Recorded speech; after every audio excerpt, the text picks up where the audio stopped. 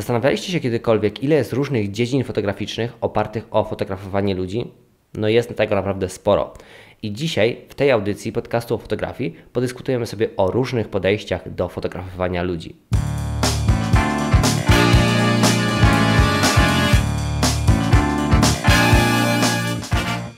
Jeżeli Twoją pasją jest fotografowanie, chcesz rozwijać się, robić lepsze zdjęcia i miło spędzić czas, no to świetnie trafiłeś. W tej audycji dyskutujemy na różne tematy związane z fotografią. Przyjemnego słuchania.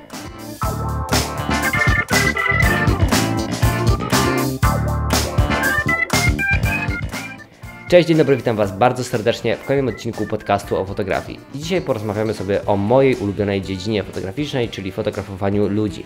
Tym, że ja mam konkretne podejście do fotografowania ludzi, a każdy z Was może mieć swoje indywidualne. Ja głównie wykonuję portrety, zdjęcia takie e, bardziej przemyślane, pod kątem takim, że sobie ustawiam jakąś sesję, ustawiam na niej światło, e, dopracowuję stylizację a inni mogą z kolei fotografować na przykład sport, w którym oczywiście pojawiają się ludzie, inni mogą fotografować śluby, na, na, na którym są całkowicie inne zdjęcia i tak dalej, i tak dalej. Więc zacznijmy od tej najbliższej y, mi fotografii, czyli tej właśnie portretowej. I nawet w fotografii portretowej możemy zaobserwować różne podejścia do tematu. Bo ja na przykład zazwyczaj, najczęściej e, fotografuję w ten sposób, że mm, umawiam się na sesję z osobą, którą będę fotografował, mam jakiś plan na tę sesję, wiem mniej więcej e, jak ona przebiegnie, analizuję sobie w głowie, szukam jakiejś inspiracji, dobieramy stylizację, miejsce itd., tak itd. Później instruuję tą osobę na sesji, e, wprowadzam ją w klimat mm, tej sesji właśnie zdjęciowej, e, daję zarys, mniej więcej opisuję, co chcemy uzyskać na zdjęciach, jak to ma wyglądać i w efekcie powstają właśnie portrety, zdjęcia. Można powiedzieć, że to jest taka ustawiona sesja zdjęciowa, która jest zaplanowana i przemyślana. E, I niektórzy nie lubią takiego podejścia, bo twierdzą, że to jest sztuczne i nienaturalne. Może tak być, owszem, jeżeli ktoś nie potrafi dobrze współpracować z osobą fotografowaną, jeżeli nie dostrzega właśnie takiej sztuczności, e, która się pojawia podczas pozowania e, i tego nie koryguje. Ale jeżeli ktoś dobrze potrafi współpracować z osobą fotografowaną, potrafi ją dobrze poinstruować, dobrze nakierować, e, dobrze pomóc jej się ustawić, no to te efekty są bardzo naturalne, bardzo fajne, mimo że ta sesja jest pozowana i wszystko jest wcześniej zaplanowane. Ja uwielbiam ten rodzaj fotografii. Dlaczego? Dlatego przede wszystkim, że mogę spełniać swoje jakieś pomysły, realizować swoje wizje, e, stworzyć jakiś mini świat na swoich zdjęciach i to bardzo po prostu lubię. Uwielbiam takie podejście do fotografii, bo to daje mi bardzo dużo możliwości, e, sprawia, że mogę się wykazać właśnie kreatywnością, pomysłowością i ja osobiście to bardzo lubię. Także to jest przykładowe podejście do fotografii portretowej. A jakie jest drugie? Drugie podejście do fotografii portretowej może być takie, że ktoś spotyka się z osobą, której będzie robił zdjęcia, rozmawia z nią e, i w międzyczasie podczas tego spotkania powstają zdjęcia. To jest taki bardziej reportażowy portret, e, gdzie ktoś poznaje e, losy tej osoby, gdzie dowiadujemy się po prostu o życiu tej osoby, którą będziemy portretować, i wtedy powstają portrety, zdjęcia, które są w dużej mierze odzwierciedleniem danej osoby. E, I one są często niepozowane, na przykład y, podczas takiej rozmowy, jak ja tutaj sobie siedzę i ktoś by tutaj obok y, mnie stał i prowadził ze mną dialog i w tym momencie zrobił mi zdjęcie właśnie z tym mikrofonem, e, tutaj z aparatem, który stoi na biurku e, i tak właśnie może powstać taki portret w naturalnym środowisku e, tej konkretnej osoby. E, to jest już całkowicie inny klimat zdjęć. Jak sami widzicie, to są dwa całkowicie już różne podejścia do tematu. E, I to jest właśnie piękne w fotografowaniu ludzi, że można samemu wykreować jakiś konkretny świat na swoich zdjęciach, tą daną osobę po prostu w nim umieścić lub pokazać świat tej drugiej osoby w jej naturalnym środowisku, pokazując jej charakter, zainteresowania itd. Tak itd. Tak I bardzo lubię obie te dziedziny fotografii, jednak znacznie częściej jednak ja wykonuję te takie zaplanowane sesje, w których sobie układam ten mój świat na zdjęciach, ale również fotografuję co jakiś czas, właśnie takie projekty robię, w których pokazuję daną osobę w jej naturalnym środowisku, staram się pokazać na, na zdjęciach jej charakter yy, i robić właśnie takie yy, portrety, które będą idealnie odzwierciedleniem tej osoby. I tutaj mamy dwa właśnie podejścia przykładowe do fotografii portretowej. Ale idźmy tym tropem dalej. jak można dalej fotografować ludzi? E, można również wykonywać reportaże, które po prostu dokumentują dane wydarzenia. E, dokumentowanie danych wydarzeń jest na początku niełatwe, bo trzeba dobrze się przyglądać Y, tym scenom, które się w danym momencie odgrywają. Bo ktoś sobie może pomyśleć, że fotografia reportażowa jest bardzo prosta. Na przykład, powiedzmy, że wesele. E, no to co, idziemy na wesele, idziemy do domu, para moda się tam y, ubiera, e, zakłada pani moda suknię, pan młody garnitur e, i my to po prostu wszystko fotografujemy. Ale żeby to dobrze wyszło, trzeba naprawdę umiejętnie podchodzić do tego tematu, obserwować te wydarzenia, starać się pokazać ten ich świat, te przygotowania, tą całą ceremonię i te wszystkie wydarzenia, jakbyśmy po prostu stali sobie obok e, i byli czynnymi obserwatorami. Tylko co innego jest patrzeć sobie normalnie oczami, a co innego patrzeć jest przez wizjer aparatu, e, wykorzystywać różne ogniskowe, e, różne właśnie obiektywy, żeby uzyskać rozmaite efekty i żeby ten reportaż wyglądał w ten sposób, żebyśmy się poczuli podczas jego oglądania późniejszego, tak jakbyśmy byli świadkami tych wydarzeń, jakbyśmy uczestniczyli w tym wszystkim. No i tutaj już e, zależy wszystko od konkretnej osoby, która e, robi zdjęcia, bo to jest sztuka, żeby właśnie tak przedstawić ten szereg wydarzeń, daną uroczystość, dane wydarzenie w takim reportażowym stylu, które naprawdę przeniesie nas w świat tych wydarzeń. E, I tutaj jest raczej dużo mniej takiej fotografii ustawianej, pozowanej. Oczywiście podczas na przykład jakichś przygotowań ślubnych czy coś takiego, no to tam się instruuje zazwyczaj parę młodą mniej więcej jak mają się ustawić pod kątem do światła, e, żeby te efekty były jak najlepsze, ale w większości przypadków wszystko dzieje się swoim biegiem wydarzeń, e, wszystko idzie swoim torem i my jesteśmy po prostu zdani na to, co się wydarzy i ważne, żeby pokazać to właśnie w jak najlepszy sposób, żeby później to się przyjemnie oglądało i żeby później na zdjęciach były oddane emocje, e, te wszystkie radości, wzruszenia i te momenty, żeby były fajnie naprawdę udokumentowane. I po prostu trzeba być w tym wszystkim takim bacznym obserwatorem, dostrzegać najmniejsze detale, patrzeć na te wydarzenia tak, jak może ktoś z boku by nie popatrzył. E, trzeba szukać różnych kadrów, różnych właśnie e, próbować ogniskowych, nieraz fotografować z dalsza, żeby zrobić takie emocjonalne zdjęcia.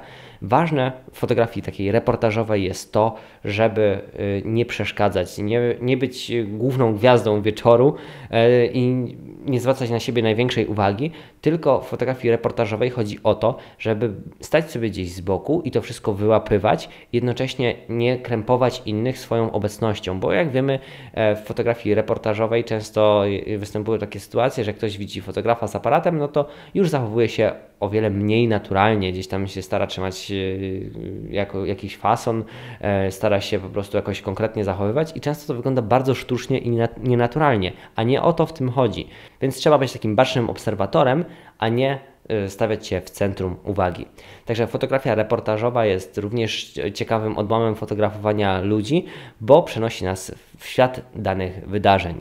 E, czyli już przeszliśmy przez e, fotografię portretową, różne rodzaje jej.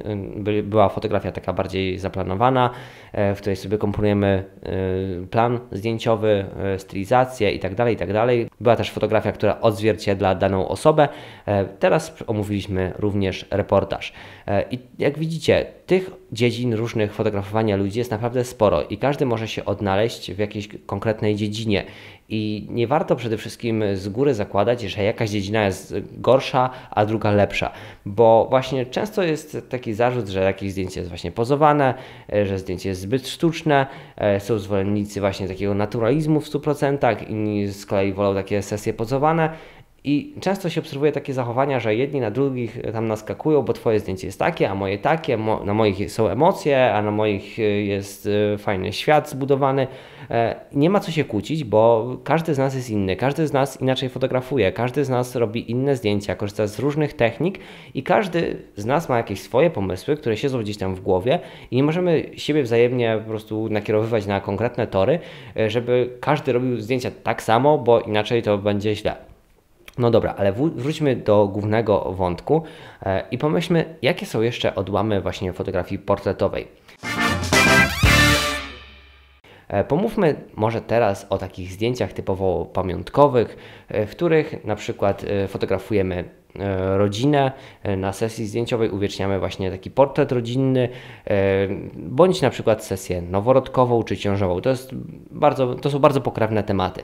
I tutaj też trzeba świadomie podejść do tego tematu, bo to też nie jest łatwym zadaniem, żeby ustawić do zdjęcia kilka osób.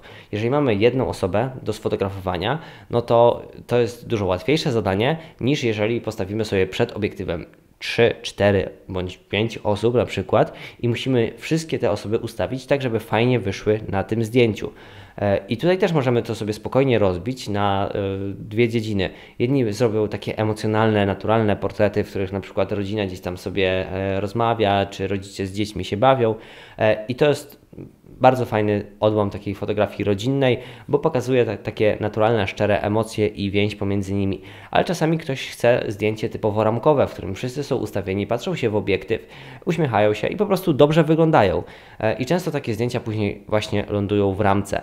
E, I w obu tych e, przypadkach nie ma nic złego. Ja na przykład, kiedy mam do sfotografowania rodzinę, no to robię różne zdjęcia. Robię takie typowe zdjęcie ramkowe, 2-3 E, w których po prostu osoby bezpośrednio patrzą się w obiektyw, są fajne, fajnie ustawione, e, a później przechodzę do takiej fotografii czysto emocjonalnej, e, gdzie na przykład dzieci bawią się z rodzicami, czy dorośli ze sobą gdzieś tam rozmawiają, spacerują i to troszeczkę pokazuje te osoby z innej strony. I tutaj mamy kolejny odłam fotografowania ludzi, który jest również bardzo ciekawy i który też trzeba po prostu sobie gdzieś wyćwiczyć i świadomie podejść do tego tematu, żeby uzyskać naprawdę dobre efekty.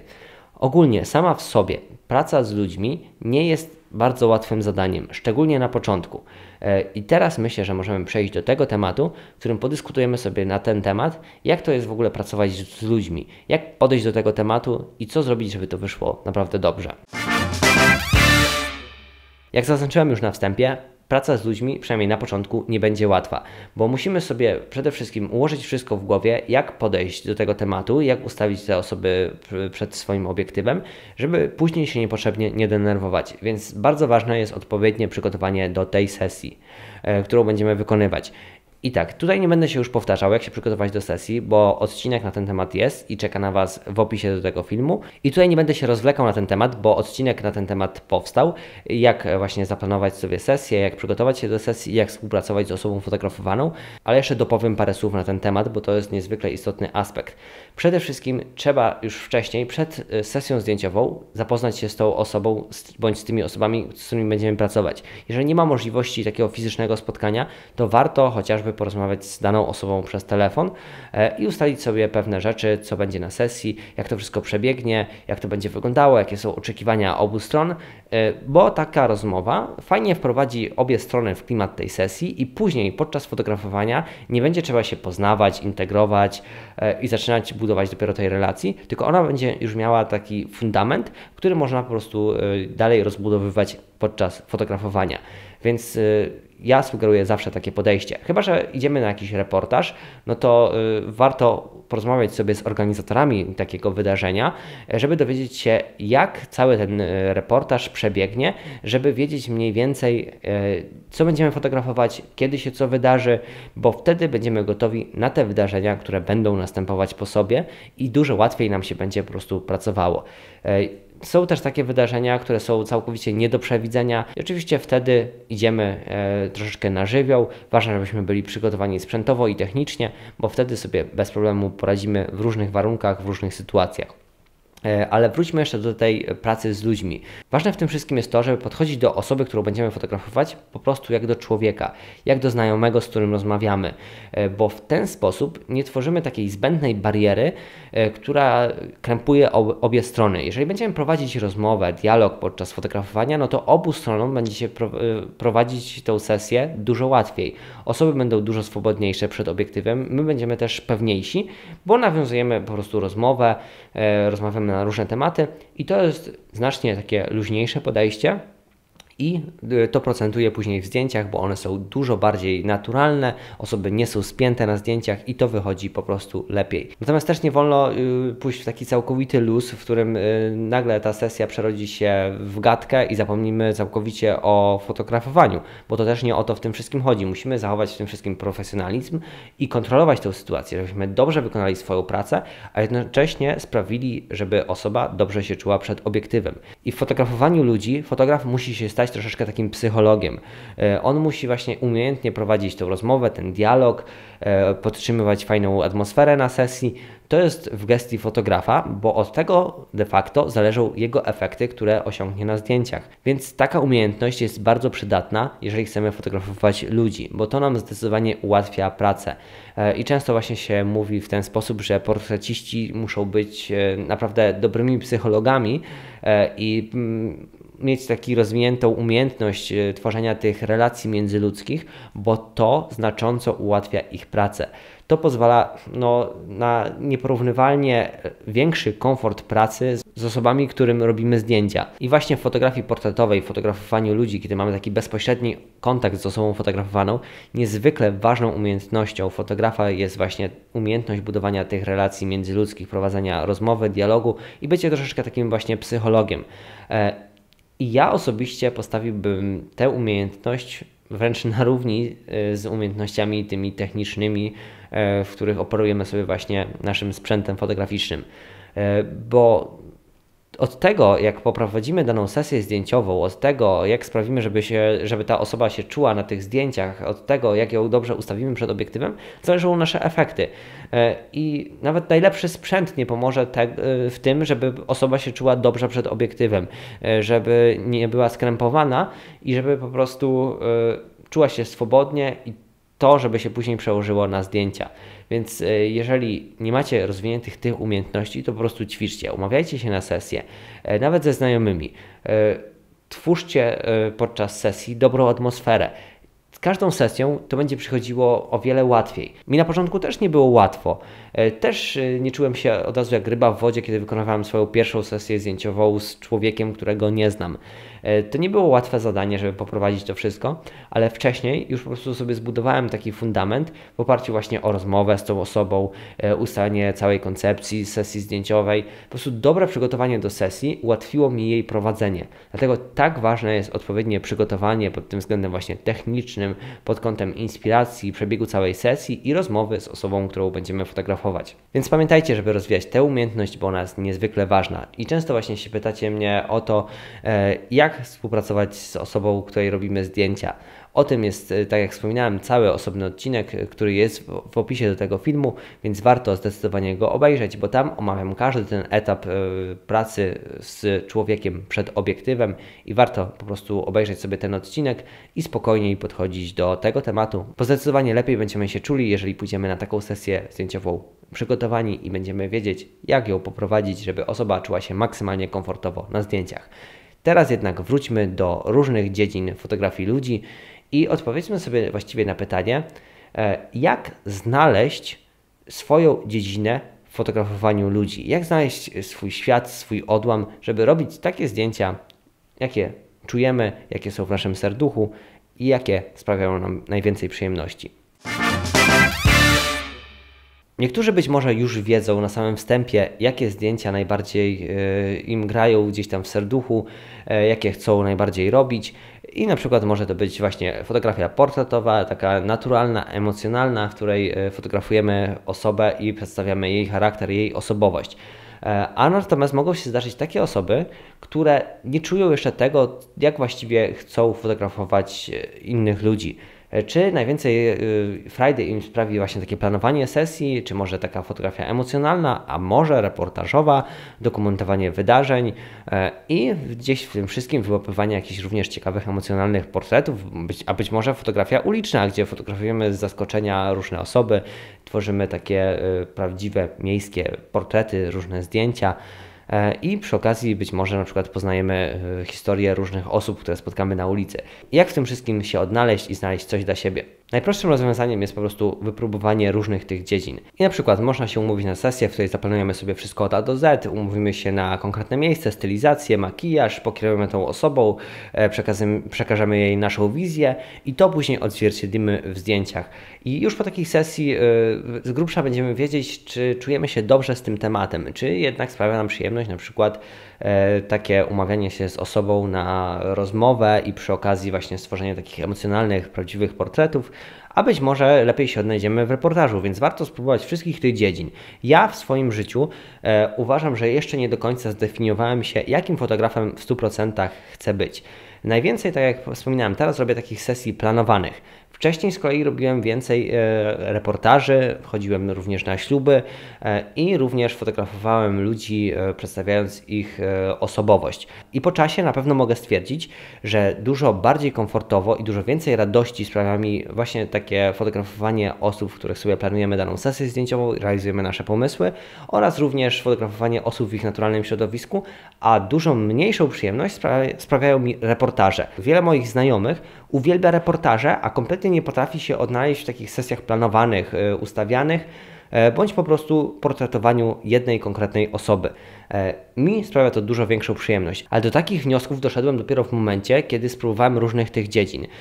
Po zrealizowaniu wielu reportaży stwierdziłem, że ok, co jakiś czas jest to spoko tematem, ale jeżeli miałbym to robić tydzień w tydzień, to ciążyłoby mi to mocno e, i po prostu nie czułbym się z tym na tyle komfortowo. Dlatego bardziej poszedłem teraz w stronę portretowania indywidualnych osób, czy nawet grup osób, ale takie y, sesje, ale realizowania takich sesji bardziej planowanych, e, przemyślanych, ale również nie brakuje w moich e, działaniach takich fotografii, w których oddaję charakter danej osoby. A tak jak mówię, dopiero to stwierdziłem z czasem. E, ale też obserwuję coś takiego u mnie w moim fotografowaniu, że co jakiś czas przechodzę przez pewną fazę.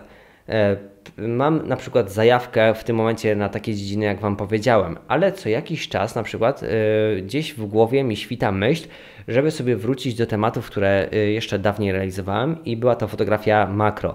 E, fotografowałem ptaszniki, o czym już pewnie słyszeliście e, i robiłem zdjęcia do opisów gatunkowych i to mi wtedy sprawiało mnóstwo radości. I w tym momencie e, na przykład pojawiła się taka myśl u mnie w głowie, że warto może wrócić do tej fotografii, bo to sprawiało mi mnóstwo wtedy satysfakcji po pewnym czasie trochę mniej mi się podobało, e, pod tym względem, że po prostu troszeczkę zmęczyłem już ten temat e, u siebie w głowie e, i szukałem innych po prostu wrażeń fotograficznych. I ja uważam, że to jest całkowicie normalne, jeżeli fotograf przechodzi przez różne etapy w swoim życiu i fotografuje aktualnie takie tematy, jakie gdzieś mu w serduchu leżą jakie chce naprawdę realizować. Bo dla mnie fotografia powinna dawać przede wszystkim nam przyjemność.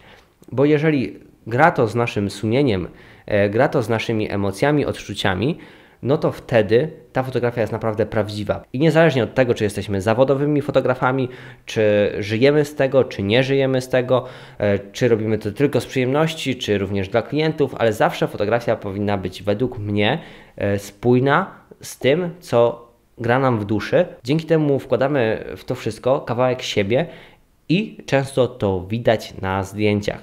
Więc zdecydowanie warto podążać w różnych kierunkach fotograficznych i realizować się w tych tematach, które są z nami spójne, bo wtedy zdecydowanie osiągamy najlepsze efekty, bo e, często sami ciągniemy do tego, chcemy tej fotografii, chcemy jak najwięcej się uczyć, rozwijać, bo to nas kręci. To jest nasza pasja to nie tylko na przykład nasz zawód, ale również nasza, nasza pasja i hobby. Bo fotografia jest dziedziną artystyczną.